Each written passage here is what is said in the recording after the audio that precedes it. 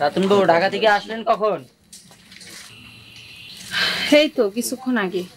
তুমি তো অনেক টায়ার্ড বু তুমি বাড়ি চলে যাও আমি রশিদ ভাই ফোন করলে খবর দিব না। না রে যাওয়া যেত না আমার ঝামেলা আছে।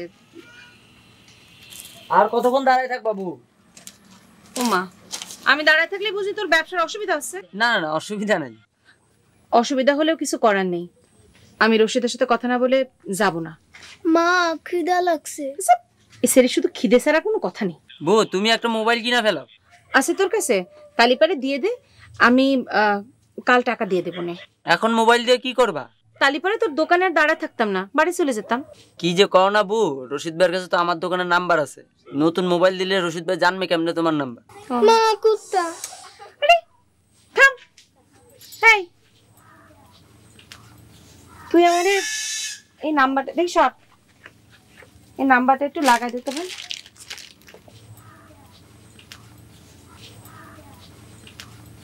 মা খিদা লাগছে। আরে মা কি শুরু করেছে।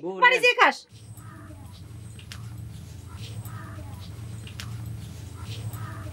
হ্যালো?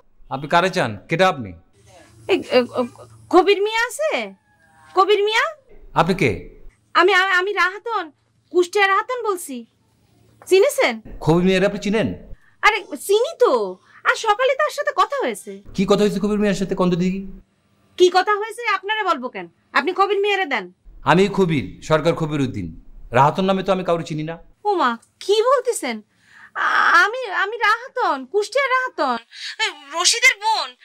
রশিদ র- আজ যে মালয়েশিয়া গেল। ও আচ্ছা আচ্ছা আপনি রশিদের বুবু। হ্যাঁ কণ্ঠস্বরটা তো চিনতে পারতেছিলাম না প্রথম। হ্যাঁ আপনি তো ফোন টোনও দেন না। ও ভুল হয়ে গেছে। ও, রশিদ তো এখনও ফোন করল না ভাই। হ্যাঁ হ্যাঁ করব করব ফোন করব। এখনও তো মালয়েশিয়া গিয়ে পৌঁছয়নি।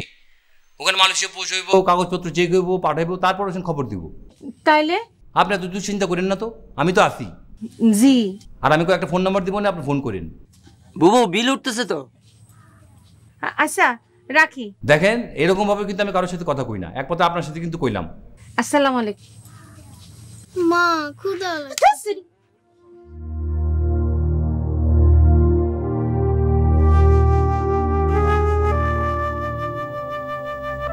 কি রে?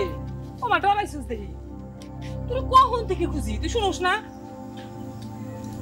বাবু দুলাভাই এখন আসে না কিসের জন্য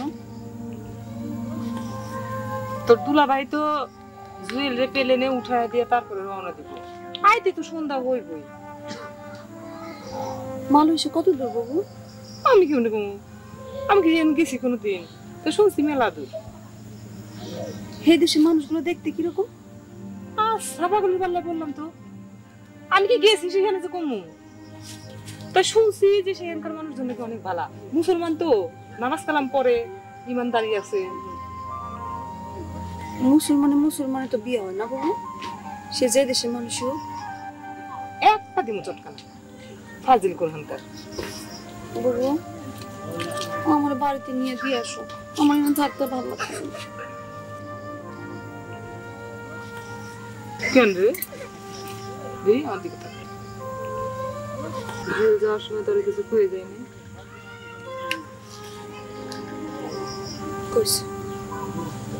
কি কইস আমার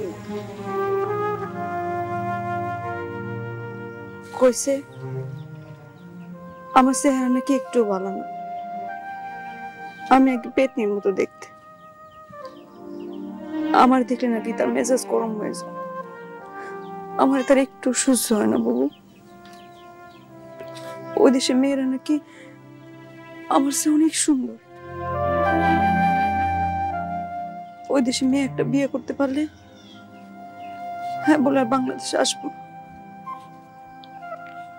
এইবার কিন্তু আমি সত্যি সত্যি একটা চর দিয়া তো সবগুলো দাঁত ফালাই দেবো। ফাজিল কোনখানকার। বানায় বানায়, এতগুলো মিথ্যা কথা কিন্তু তোর একটুও খারাপ লাগল না? জুয়েল তো তোর জন্য পাগল। এটা তো আর চোখ দেখলেই আমি বুঝি।